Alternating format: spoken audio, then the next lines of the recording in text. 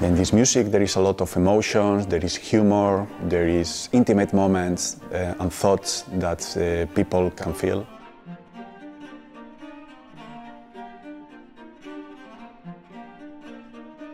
Intimate Sketches is uh, the name of the collection of short pieces written by uh, composer Janáček. These pieces have been transcribed for the first time on strings, so that makes it really exciting.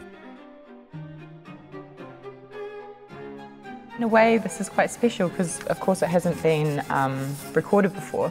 Of course, we're string players, we've got the potential to do so many other things. We're the first ones to bring this to life. Yeah, I feel quite lucky bunch of feelings going around while listening to this music. Short, they are catchy, they are folky, some of them they are like so sweet and you can feel comfortable and listening to them, yeah.